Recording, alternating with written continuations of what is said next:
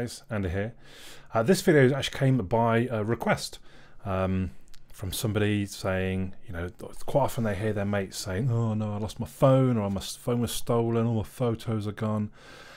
And there really is no excuse for that in this day and age. There's so many apps that will back up your photos for you, most of them for free.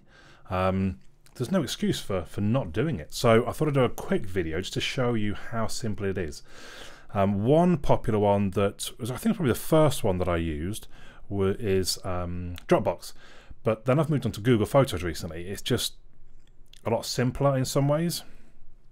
So we open up the Google Photos app, and already I can see photos there that I took on a different device yesterday at Comic Con on the Xiaomi Mi A1. Um, they're actually there because I made an album. We'll come to that in a second.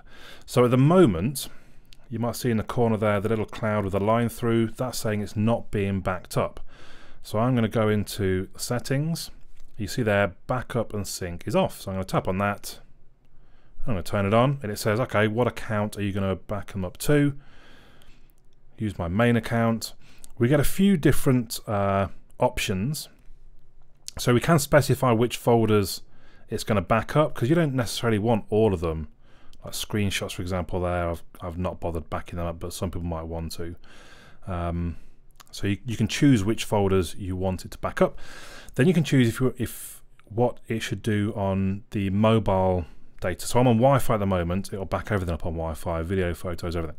So even when I'm on mobile, actually a lot of the time, yeah, I'll have photos. That's only a few meg each time, and you might even want to back videos up. That's your safest way.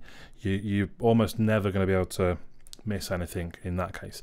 If you've not got a massive data plan, you might not want to bother doing that. Um, back up and so I wanted to bother about that. Come back out. Um, I think that's all you really need. So, oh yeah, so you can have it so they show in Google Drive as well. If you use Google Drive much, you'll make a new folder saying photos, and they'll all be in there. Um, let's come back out to the actual app. So I'm going to take a photo. You see there now, backup complete. You see it with a tick in the cloud. Now I'm going to come out and I'm going to launch my camera. And I'm going to take a picture of the cap. Now I'm going to grant you actually on Dropbox it's going to upload and update that a lot quicker. I'll get a notification on my computer saying there's a new file added. Um, and quite often Google Photos isn't as quick, but it looks like it's done that already. If we go to Assistant, Yep, so if I still, and maybe I should have shown you that faster, it would say on Assistant at the bottom left there, um, like one photo uploading, but already I think that has uploaded. So now I'm going to swap over to the desktop. So I'm just here on Google, I've logged in as me. I'm going to click on the drop down bit and I'm going to click on Photos and we'll see if it really did. No, so it's not fully up. In fact, if we come back to the phone now, you see that one with the thing. So that's uploading from the phone at the moment. So we'll see it on the, if, if, maybe if we go back to assistant now, oh no, it's still,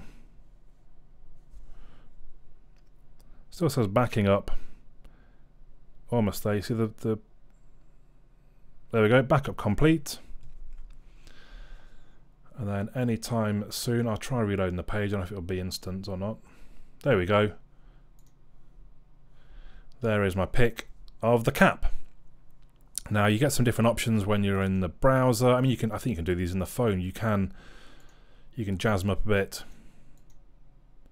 You can undo the edits. There's all sorts of bits and pieces. You can crop it. Let's just click done for the minute. If you want, you can download from there. So, and if you've done edits, it gives you the option of download with the edits or just download the original. Um, you can also upload, so if you've taken things on like a DSLR, you can choose wherever the photo is and upload it directly from there. If you upload a bunch of them, it gives you the option to add to an album, and you can then say, well, no, create a new album, give the album a name. Um, if I click over to albums briefly, we should see. So yesterday, as I sort of mentioned, I was at Comic Con. All these photos were taken on uh, DSLR, the Xiaomi Mi A1, and actually my Samsung Gear 360. Although when I was clicking yesterday, it wouldn't load. I mean, I didn't wait very long. Like I'm not going to bother now. Um, but that enables you to upload all different photos from different devices into one album. They are then available on the on the phone So if we come back into the phone and we go to albums, you see there Comic Con, you see there the first one. Let's see if it works on the phone. Oh, couldn't be displayed. Maybe I've got an issue with the 360. Anyway, but as you can see, the same photos available on the screen as on the phone. So as I said, it's really very simple. It's really very handy because also Google Google makes you little videos. I don't know if you saw in the assistant bit, it was trying to offer me um, an album that it had created called Monday Afternoon in London. That's when I went into London to look at the Pixel 2 XL. Uh, but it creates a lot of videos, plays music along with these videos. It's created really, very clever. Um, myself included, a lot of people really love that aspect that Google gives. Um, so as I said, very simple, really no excuse for not doing it. Please show your friends this video. Don't let them. Oh, and it's also you can do this on iOS. Um, obviously, I do Android videos, but you can install Google Photos for iOS, and I believe it back. Yeah, I know it does it does on my iPad.